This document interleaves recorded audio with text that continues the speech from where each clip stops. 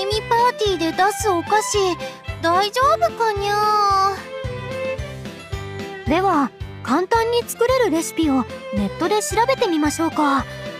えっとあリンさんこれはどうですか？わあうさぎさんの形のクッキー。かわいいにゃこれならお月見パーティーにもぴったりだリンたちだけの美味しいクッキーが作れそう。はい。今回私たちが作るお菓子はこれにしましょう。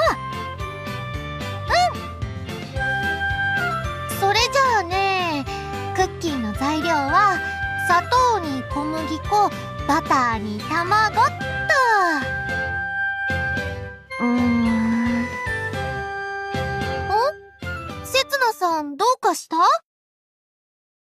クッキーの材料を見て思ったんですがこれだと栄養価が偏っている気がするんですよね。それならお野菜を生地に練り込むにゃ栗とかかぼちゃとかあと人参とか。いいですね。じゃあプロテインも入れましょう。タンパク質が取れますよ。いいね。じゃあリンはラー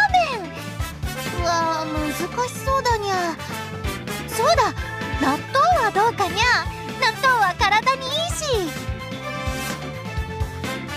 確かに納豆を入れたら栄養がいっぱい取れそうです。リンさんってそういうのに詳しいんですね。この前テレビで見たんだ。納豆にはミネラルがたくさん入っててでは納豆も入れましょう。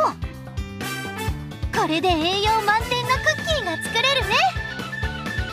はい。今から作るのが楽しみです。2人で美味しいうさぎさんク